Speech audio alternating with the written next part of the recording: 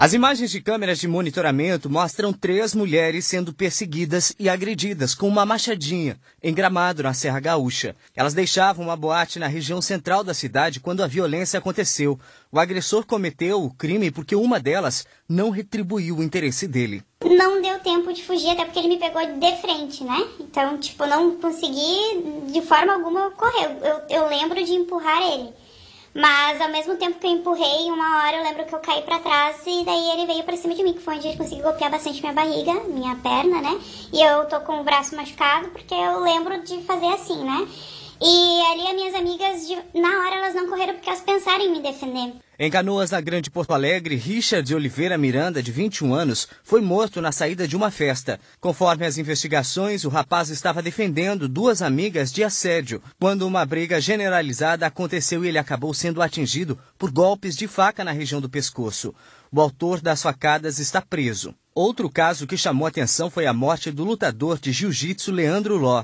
Vídeos divulgados pela polícia mostram o tenente Henrique Veloso, acusado de ter matado Leandro, em outra casa noturna na zona sul de São Paulo, depois de ter atirado na vítima. Esse comprovante mostra quanto o tenente gastou na balada depois de matar o lutador.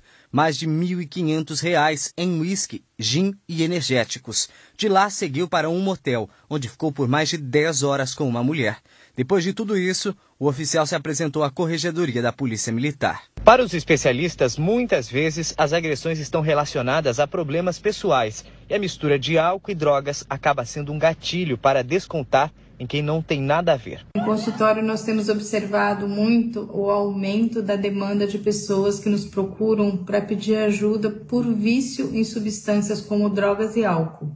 Essas pessoas nos relatam que falta a questão do limite, elas não conseguem ter um limite quando estão sob efeito dessas drogas.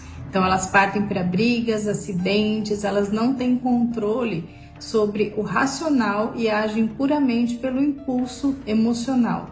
Então, nesses casos, a gente orienta quando a pessoa está vendo que ela está perdendo o limite, que ela está exacerbando, que ela não consegue ficar sem o uso dessas substâncias, que elas procurem ajuda psicológica, que elas procurem uma orientação de um profissional de saúde mental. Muitas vezes o tratamento no início é bem mais simples e evita muitos transtornos, muitos acidentes e até casos fatais. Fiquei sabendo que tinha sido preso dois, o que esfaqueou meu filho e um cúmplice. A dor da impunidade passou, mas a dor de ter perdido meu filho nunca mais vai passar.